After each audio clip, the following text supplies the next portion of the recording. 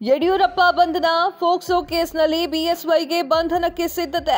ಫೋಕ್ಸೋ ಪ್ರಕರಣದಲ್ಲಿ ಸಂಬಂಧಿಸಿದಂತೆ ಮಾಜಿ ಸಿಎಂ ಬಿಎಸ್ ಯಡಿಯೂರಪ್ಪ ಅವರನ್ನ ಬಂಧಿಸಲು ಪೊಲೀಸರು ಸಿದ್ಧತೆಯನ್ನ ನಡೆಸಿದ್ದಾರೆ.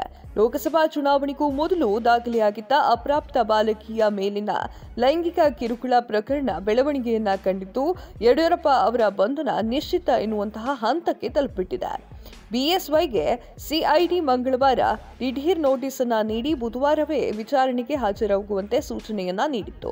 ಇನ್ನೊಂದೆಡೆ ಪ್ರಕರಣಕ್ಕೆ ಸಂಬಂಧಿಸಿದಂತೆ ಯಡಿಯೂರಪ್ಪ ಅವರನ್ನ ಬಂಧಿಸುವಂತೆ ಆದೇಶವನ್ನ ಕೋರಿ ಹೈಕೋರ್ಟ್ನಲ್ಲಿ ಸಂತ್ರಸ್ತೆಯ ಸಹೋದರರ ಮನವಿ ಕೂಡ ಮಾಡಿದ್ರು. ಜೂನ್ ಹನ್ನೆರಡರಂದು ಯಡಿಯೂರಪ್ಪ ವಿಚಾರಣೆಗೆ ಹಾಜರಾಗುವ ಹಿನ್ನೆಲೆ ಜಾಮೀನು ರಹಿತ ವಾರೆಂಟ್ ಅನ್ನ ಹೊರಡಿಸಲು ಪೊಲೀಸರು ತ್ವರಿತ ನ್ಯಾಯಾಲಯಕ್ಕೆ ಅರ್ಜಿಯನ್ನ ಸಲ್ಲಿಸಿದ್ದಾರೆ. ಎಂದು ಬಂಧನದ ವಾರೆಂಟ್ ಹೊರಡಿಸಿರುವ ಬಗ್ಗೆ ಬೆಂಗಳೂರಿನ ನಲವತ್ತೆರಡನೇ ಜನಪ್ರತಿನಿಧಿಗಳ ವಿಶೇಷ ಕೋರ್ಟ್ ಆದೇಶವನ್ನ ನೀಡಲಿದೆ. ಒಂದು ಪಕ್ಷ ಕೋರ್ಟ್ ವಾರೆಂಟ್ ಜಾರಿ ಮಾಡಿದರೆ ಪೊಲೀಸರು ಯಡಿಯೂರಪ್ಪ ಅವರನ್ನ ಬಂಧಿಸಲಿದ್ದಾರೆ. ತನಿಖೆಗೆ ಹಾಜರಾಗುವಂತೆ ಪೊಲೀಸರು ನೀಡಿದ್ದ ನೋಟಿಸ್ಗೆ ಯಡಿಯೂರಪ್ಪ ಅವರು ಉತ್ತರವನ್ನ ನೀಡಿದ್ದಾರೆ. ಮಾರ್ಚ್ ಇಪ್ಪತ್ತೆಂಟರಂದು ನೋಟಿಸ್ ನೀಡಿದಂತೆ ನಾನು ವಿಚಾರಣೆಗೆ ಹಾಜರಾಗಲು ತನಿಖೆಗೆ ಸಂಪೂರ್ಣ ಸಹಕಾರವನ್ನು ನೀಡಿದ್ದೇನೆ. ಜೂನ್ ಹನ್ನೆರಡರಂದು ತಾವು ನೀಡಿರುವ ನೋಟಿಸ್ ನನಗೆ ನಿನ್ನೆಯಷ್ಟೇ ಬಂದು ತಲುಪಿದೆ. ನಾನು ಪಕ್ಷದ ಕಾರ್ಯನಿರ್ಧರಿತ ಕಾರ್ಯಕ್ರಮಗಳಲ್ಲಿ ಭಾಗಿಯಾಗಿರುವುದರಿಂದ ದೆಹಲಿಗೆ ತೆರಳುತ್ತಾ ಇದ್ದೇನೆ. ಹೀಗಾಗಿ ಈ ಬಾರಿ ನಾನು ವಿಚಾರಣೆಗೆ ಹಾಜರಾಗಲು ಸಾಧ್ಯವೇ ಇಲ್ಲ. ನಾನು ಜೂನ್ ಹದಿನೇಳರಂದು ಖುದ್ದಾಗಿ ವಿಚಾರಣೆಗೆ ಹಾಜರಾಗುತ್ತೇನೆ. ಈ ಹಿಂದೆಯೂ ನಾನು ತನಿಖೆಗೆ ಸಹಕಾರ ಮಾಡಿದ್ದೇನೆ. ಪೂರ್ವ ನಿಯೋಜಿತ ಕಾರ್ಯಕ್ರಮದಲ್ಲಿ ಭಾಗಿಯಾಗಬೇಕಾದ ಕಾರಣದಿಂದ ಈ ಬಾರಿ ತನಿಖೆಗೆ ಹಾಜರಾಗಲು ಸಾಧ್ಯವಾಗೋದಿಲ್ಲ. ಹೀಗಾಗಿ ವಿಚಾರಣೆಯಿಂದ ವಿನಾಯಿತಿಯನ್ನ ನೀಡಬೇಕು ಅಂತ ಯಡಿಯೂರಪ್ಪ ಅವರು ಮನವಿಯನ್ನ ಮಾಡಿಕೊಂಡಿದ್ದಾರೆ. ತಮ್ಮ ವಿರುದ್ಧ ಫೋಕ್ಸೋ ಪ್ರಕರಣ ರದ್ದುಪಡಿಸುವಂತೆ ಕೋರಿ ಯಡಿಯೂರಪ್ಪ ಹೈಕೋರ್ಟ್ ಮೆಟ್ಟಿಲನ್ನ ಏರಿದ್ದಾರೆ. ನಾನು ಯಾವುದೇ ರೀತಿಯ ಕಾನೂನು ಬಾಹಿರ ಕೃತ್ಯವನ್ನ ಎಸಗಿಲ್ಲ.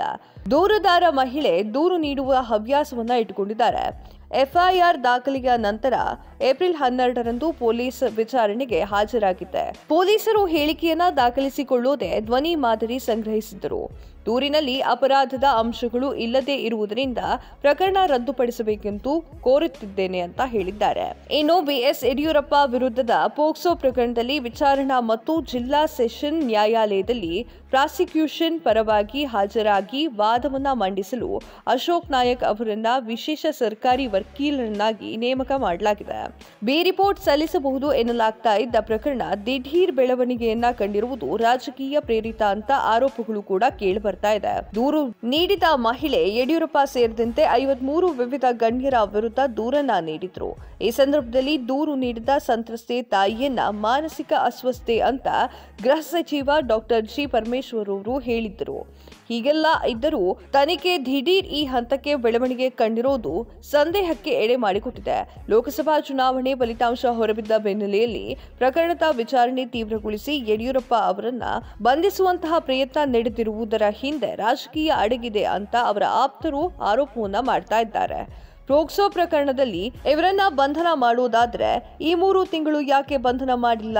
ಚುನಾವಣಾ ಫಲಿತಾಂಶ ಹೊರಬಿದ್ದ ಬಳಿಕ ಅದರಲ್ಲೂ ಬೆಂಗಳೂರು ಗ್ರಾಮಾಂತರ ಲೋಕಸಭಾ ಕ್ಷೇತ್ರದ ಫಲಿತಾಂಶದ ಹಿನ್ನಡೆಯ ನಂತರ ಈ ಬೆಳವಣಿಗೆ ಆಗುತ್ತಿರುವುದು ಯಾಕೆ ಅಂತ ಬಿಎಸ್ ಯಡಿಯೂರಪ್ಪ ಅವರ ಬೆಂಬಲಿಗರು ಪ್ರಶ್ನೆಯನ್ನ ಮಾಡ್ತಿದ್ದಾರೆ. ತಮ್ಮ ಪುತ್ರಿ ಮೇಲೆ ನಡೆದಿದ್ದ ಅತ್ಯಾಚಾರ ಪ್ರಕರಣದಲ್ಲಿ ಸೂಕ್ತ ತನಿಖೆ ನಡೆಸುವಂತೆ ಹಿರಿಯ ಪೊಲೀಸ್ ಅಧಿಕಾರಿಗಳಿಗೆ ಸೂಚಿಸುವಂತೆ ಯಡಿಯೂರಪ್ಪ ಅವರು ನೆರವು ಕೋರಲು ಸಂತ್ರಸ್ತೆ ತಾಯಿ ನಿರ್ಧರಿಸಿದ್ರು ಫೆಬ್ರವರಿ ಎರಡರಂದು. ಡಾಲರ್ಸ್ ಕಾಲೋನಿಯಲ್ಲಿರುವಂತಹ ಯಡಿಯೂರಪ್ಪ ಅವರ ಮನೆಗೆ ತಮ್ಮ ಹದಿನೇಳು ವರ್ಷದ ಮಗಳ ಜೊತೆ ತಾಯಿ ತೆರಳಿದ್ಲು. ಆಗ ಬಾಲಕಿಯ ಜೊತೆ ಅನುಚಿತವಾಗಿ ಯಡಿಯೂರಪ್ಪ ಅವರು ವರ್ತನೆಯನ್ನ ಮಾಡಿದ್ದಾರೆ ಅಂತ ದೂರಲಾಗ್ತಾ ಇದೆ. ಈ ಬಗ್ಗೆ ತನಿಖೆಯನ್ನ ನಡೆಸಿ ಸೂಕ್ತ ಕಾನೂನು ಕ್ರಮ ಜರುಗಿಸುವಂತೆ ಸದಾಶಿವನಗರ ಠಾಣೆಗೆ ಮಾರ್ಚ್ ಹದಿನಾಲ್ಕರಂದು ಸಂತ್ರಸ್ತೆಯ ತಾಯಿ ದೂರನ್ನ ನೀಡಿದ್ರು. ಅದರ ಅನ್ವಯ ಯಡಿಯೂರಪ್ಪ ಅವರ ವಿರುದ್ಧ ಫೋಕ್ಸೋ ಕಾಯ್ದೆಯಡಿ ಎಫ್ಐಆರ್ ಅನ್ನು ದಾಖಲೆ ಮಾಡಿದ್ರು. ಈ ಪ್ರಕರಣ ಸಂಬಂಧ ಸಿಐಡಿ ತನಿಖೆಗೆ ಡಿಜಿಪಿ ಅಲೋಕ್ ಮೋಹನ್ ಅವರು ಆದೇಶ ಮಾಡಿದ್ದಾರೆ.